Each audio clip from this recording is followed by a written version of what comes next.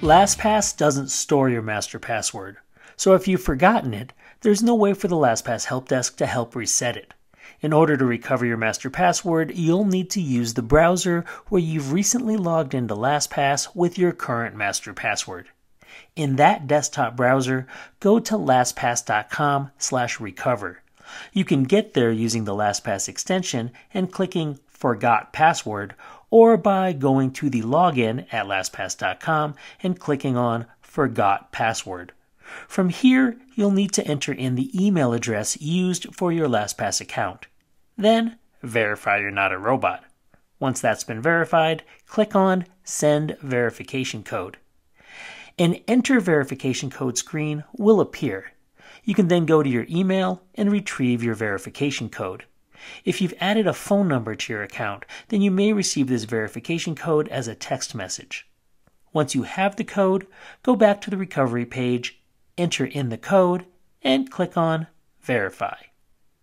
With the verification complete, you can click on Go to Vault, and from there, you'll be able to change your master password. The new master password should be at least 12 characters long, have at least one number, one lowercase letter, one uppercase letter, a special character, and not be an email address. You can't reuse a previous master password, and we recommend you add a reminder. Once you're done, you can confirm, and your new master password will be used to generate a new encryption key. When it's complete, you'll be able to log in with your new master password. Now, if you're not using the browser where you recently logged into LastPass with your current master password, you may end up with a message stating we couldn't recover your account. This means you only have a few options left.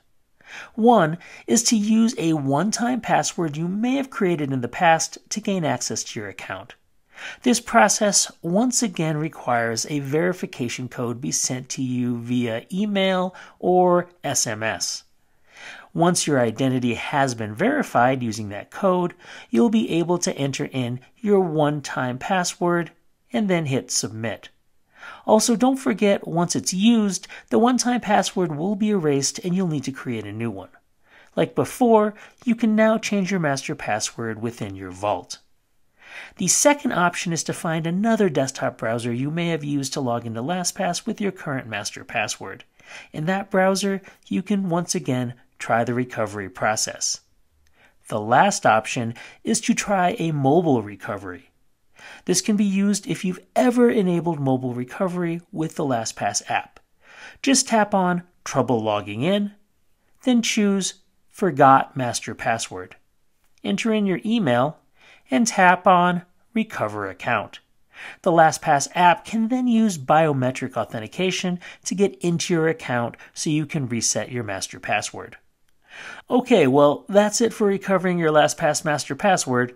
And don't forget, you can always ask for your master password hint to help you remember. For this, you'll be required to enter in your account email, and as usual, confirm once again you're not a robot. Then hit Send Hint, and your master password hint will be sent to your email. Hopefully, the reminder will help you recall your LastPass master password. And for business users, try contacting your administrator for assistance. For other assistance, check out our support documentation at support.lastpass.com.